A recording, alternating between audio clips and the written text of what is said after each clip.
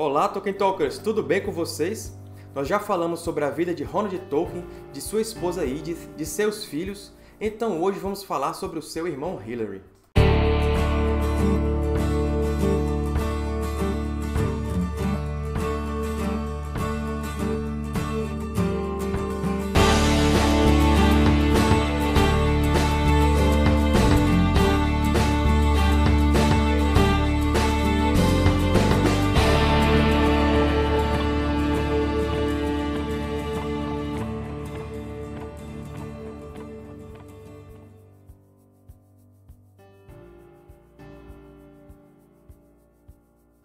Antes de contarmos a biografia de Hilary Tolkien, já dá o like aqui no vídeo, deixa sua curtida. Quem está chegando agora ao canal já se inscreve clicando no botão vermelho de se inscrever e depois já aciona o sininho do YouTube para ativar as notificações e ficar sabendo sempre que houver um vídeo novo.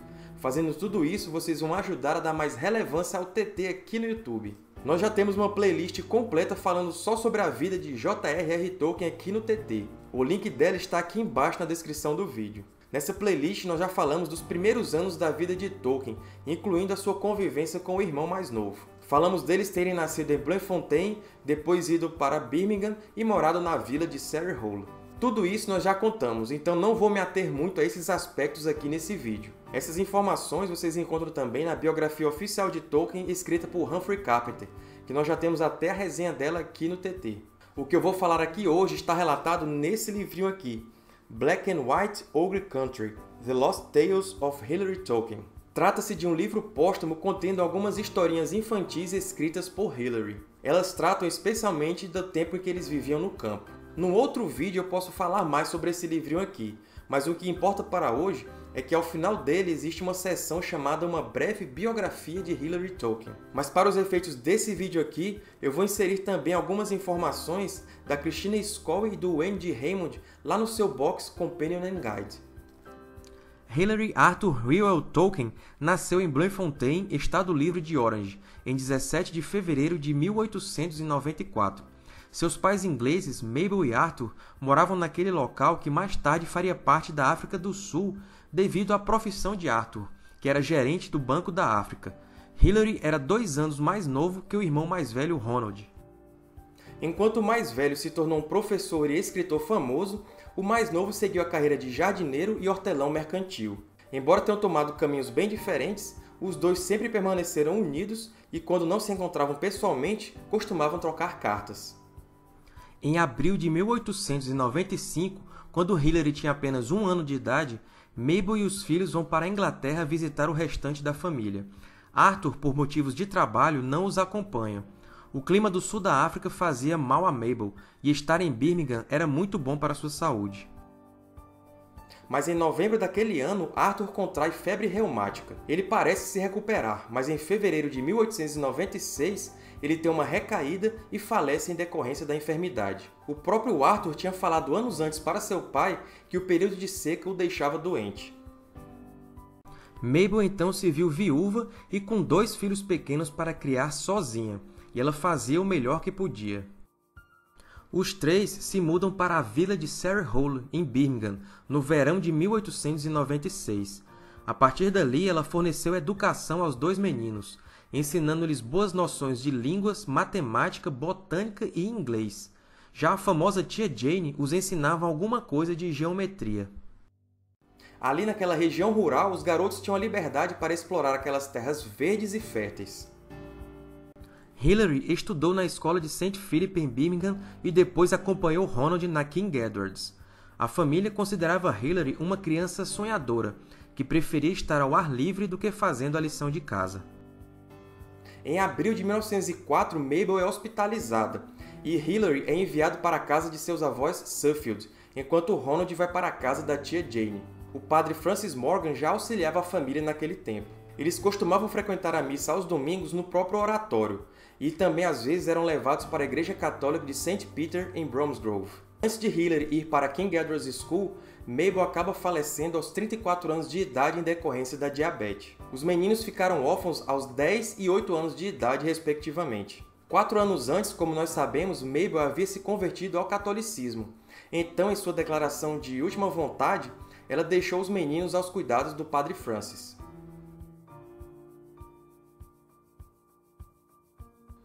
O padre se tornou então o guardião legal deles e levou os meninos para morarem na casa da tia Beatrice, que era viúva do irmão de Mabel.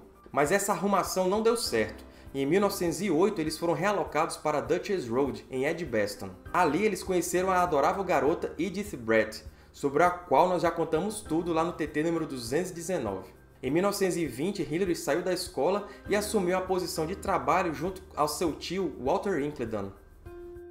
Cerca de um ano depois, ele e Ronald se juntaram à tia Jane e seus amigos e foram fazer uma excursão à Suíça. Tia Jane era uma senhora marcante e teve um importante papel nas vidas dos irmãos Tolkien. Hillary preferia estar ao ar livre trabalhando na terra ao invés de preso entre quatro paredes. Então ele se mudou para Gedling, perto de Nottingham, a fim de trabalhar com seu tio AJ e os Brooks Smiths na fazenda Phoenix. Esses Brooks Smiths também estiveram naquela viagem à Suíça. Em 1914, logo após o início da Primeira Guerra Mundial, Hillary se alistou no 16º Batalhão do Regimento Real de Warwick como corneteiro. Ele serviu no exército britânico, principalmente na França e Bélgica, tendo sido ferido levemente em diversas ocasiões. Ele retornou às West Midlands no seu aniversário de 1919. Um grande ponto de virada em sua vida após a guerra foi a aquisição de uma propriedade em Blackminster, perto de Evesham. Ele penou financeiramente, mas estava profundamente feliz com seu jardim mercantil e especialmente com o pomar de frutas com ameixeiras e macieiras. Algumas das ameixeiras que ele plantou em 1920 ainda estavam vigorosas quando Hillary já tinha mais de 80 anos. Pelos anos seguintes, ele se ocupou em plantar e colher. Hillary também apreciava cantar no coral da Igreja Católica de Santa Maria, em Evesham. Lá, ele conheceu a filha de um carpinteiro local, Magdalene Matthews, que trabalhava numa loja em Evesham. Hillary e Magdalene casaram-se em 5 de julho de 1928. Depois do casamento, os noivos viajaram para Oxford para passar o resto do dia com Ronald e Edith. Hillary e Magdalene tiveram três filhos, Gabriel 1931, Julian 1935 e Paul 1938. Enquanto isso, Ronald e Edith já tinham se estabelecido em Oxford e também tinham uma família em crescimento. John, de 1917, era o afilhado de Hillary. Michael, de 1920, tinha também o sobrenome Hillary, em homenagem a seu tio. Christopher nasceu em 1923 e Priscila em 1929. Já falamos sobre todos os filhos de Ronald Tolkien lá nos TTs 84 e 159. Em 1937, Ronald recebeu as 12 cópias da primeira tiragem de O Hobbit que ele tinha pedido à editora. Ele passou alguns dias autografando essas cópias para dar a seus amigos e familiares. Ele também escreveu algumas cartas nesse período e aproveitou para embalar e postar os livros nos correios. Hillary, claro, foi uma das pessoas que recebeu uma cópia dessas. Embora se correspondesse de forma um pouco relutante, Hillary sempre manteve contato com os amigos e parentes do lado materno e paterno. Ele foi a pessoa para a qual Ronald escreveu quando a sua fama e os compromissos pareciam demais para ele. Blackminster se tornou o ponto de encontro central da família estendida, e aqueles que ficavam lá por um tempo hospedados depois escreviam sobre as maravilhas de ter estado lá. Hillary gostava de pintar e continuou em seus esforços criativos até uma idade avançada. Frequentemente, ele fazia pequenos desenhos em cartões para dar aos amigos e à família, como seu avô materno John Suffield. Quando Ronald Tolkien comprou um carro em 1932, resolveu dirigir com a família para Evesham a fim de visitar Hillary. O resultado foram dois pneus furados e um encontro direto com o muro próximo a Chipping Norton. Em 22 de agosto de 1953, Ronald vai para Evesham a fim de participar do casamento de seu sobrinho Gabriel, filho de Hillary. Em 22 de março de 1966, Ronald e Edith celebram as bodas de ouro e ocorre um pequeno almoço comemorativo no Merton College para 12 pessoas, entre amigos íntimos e familiares. Entre eles estavam Hillary e Rainier Unwin. Uma pequena curiosidade é que Hillary tinha um cachorrinho chamado Bilbo quando era bom, mas quando ele era mau, Hillary o chamava de bolseiro. Essa foto que vocês estão vendo é do Hillary, mas é apenas ilustrativa, pois esse cachorrinho não deve ser esse tal Bilbo. Em 3 de janeiro de 1972, Ronald completou 80 anos de idade. Seus amigos lhe deram uma festa, e Hillary estava entre os presentes na comemoração. No mesmo ano, de 13 a 20 de junho, Ronald visita o irmão em Evesham. Eles assistem cricket e tênis na TV e bebem uísque. Hillary ficou viúva em 1970 com o falecimento de Magdalen, enquanto Ronald perdeu Edith em 1971. Ronald morreu em 1973 e logo depois Hillary trocou cartas com Humphrey Carpenter, que estava pesquisando para escrever a biografia de seu irmão. Hillary contou a Carpenter sobre o Black and White Ogre Country, e suas memórias vividamente relembradas por aquele senhor de mais de 80 anos entraram em uma biografia.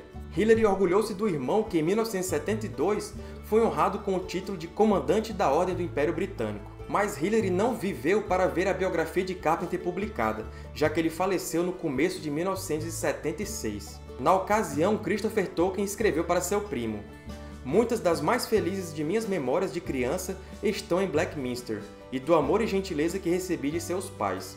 Dias dourados eles parecem agora, e acredito que realmente fossem. Os mesmos responsáveis pelo livro Black and White Ogre Country começaram a fazer a biografia completa de Hillary, mas por questões de direitos autorais acabaram cancelando o projeto. O Tolkien Estate entrou no processo para barrar a publicação de algumas cartas trocadas entre Hillary e Ronald. Isso daria um corte de 20 de cerca das 300 páginas do livro. Infelizmente, os responsáveis optaram por não continuar na produção do livro.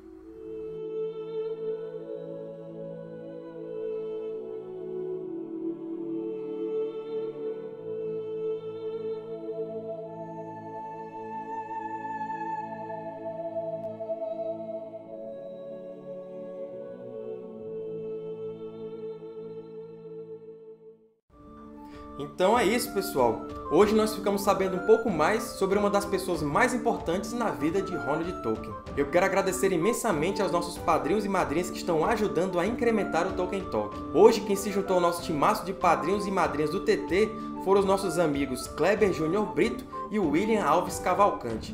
Muito obrigado a todos vocês que estão contribuindo. Seja você também um padrinho ou madrinha do TT e contribua para a evolução do canal. E hoje eu quero mandar um abraço para o nosso amigo Tolkien Talker Igor Vikernes. Valeu, garoto! Eu espero que vocês tenham gostado desse vídeo, então quem não curtiu ainda, deixa seu like aqui embaixo, quem não se inscreveu, se inscreve aqui no canal, ative as notificações e não perca mais nenhum conteúdo. Curta a nossa fanpage no Facebook, siga o nosso Twitter e Instagram, participe do nosso grupo de discussões Dragão Verde e também visitem o nosso blog. Sigam também os nossos parceiros, os links deles estão aqui embaixo na descrição do vídeo. Se for comprar um livro de Tolkien, de C.S. Lewis ou qualquer outro autor lá na Amazon.com.br, compre pelos links fornecidos pelo Tolkien Talk e assim ajude a financiar o canal sem custo adicional algum.